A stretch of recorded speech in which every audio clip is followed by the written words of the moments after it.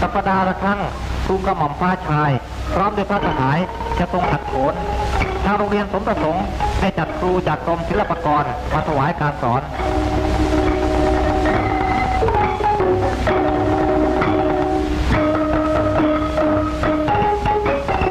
ตอนนี้ครูถวายการสอนท่าต่างๆของหนุมานมีท่าตีลังกา ท่าเกา และท่าปลุกใจองคตกับสุภูพาน